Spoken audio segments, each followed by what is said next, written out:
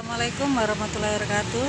Salam Fatima Ponorogo Properti Kali ini berlokasi di Pasar Cedes. Tepatnya hari Senin tanggal 15 2021 Pagi hari Suasana Pasar Cedes Untuk kota Ponorogo. Salam dari saya Fatima Ponorogo Properti